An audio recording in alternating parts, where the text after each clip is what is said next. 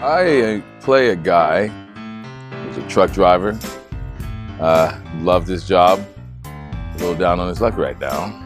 She is recently separated from uh, from Eddie, and their lives have gotten super complicated in recent times.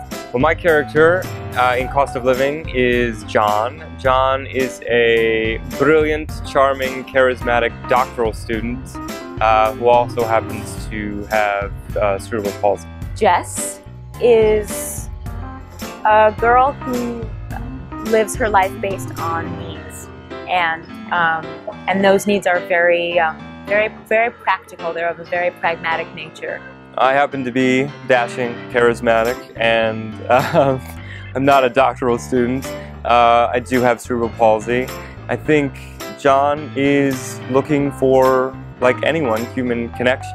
I mean, I am myself an amputee specifically, so, um, and Ani originally was written as just having a spinal cord injury. The thing that's been really interesting to explore as an actor is stillness. It all comes down to how effectively am I communicating with this other person. The play is so much about the theme of isolation and the theme of community and how how those two things meet and how we're always trying to trying to find each other. As a member of the disabled community, I'm always sort of questioning what that actually is, what my place in it is, and how I can accurately uh, represent that community. Isolation is not only inherent to uh, disabled people, but everyone, all humans, sort of, sort of a universal theme. We're all connected, whether we want to be or not. Where do I fit in? Where do I belong?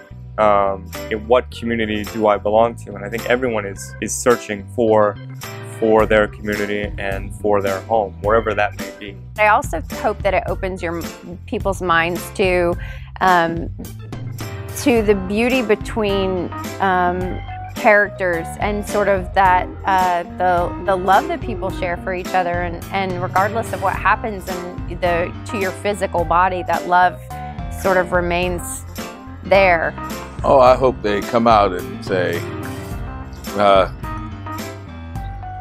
"Baby, I love you." If you had a dog, I'd love the dog.